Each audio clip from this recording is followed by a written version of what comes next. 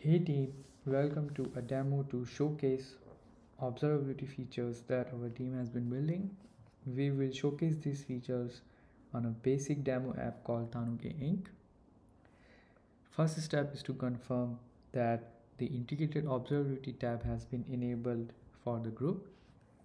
At the moment, this tab is behind a feature flag as we can see the UI is visible and the corresponding backend has been provisioned.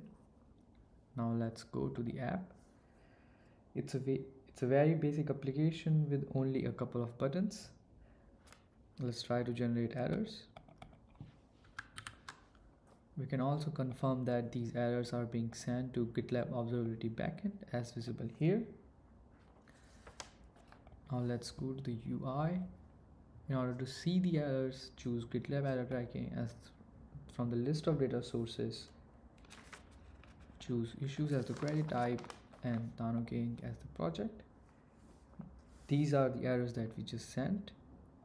You will notice that a lot of fields are empty at the moment. We will be iterating upon these to get full parity with the Sentry backend. Now let's go back to the app and try to generate traces.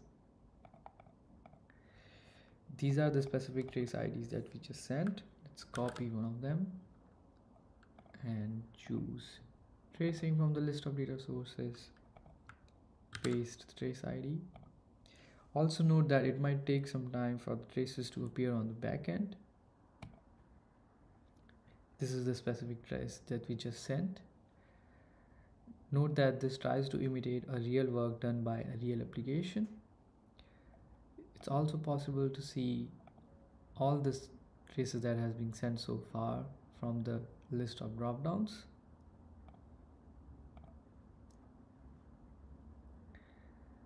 The details of the instrumentation itself can be seen on the app itself. It might prove helpful for an app that has been developed similarly in JavaScript. This is it. I hope that, that this demo proves to be useful. Thank you.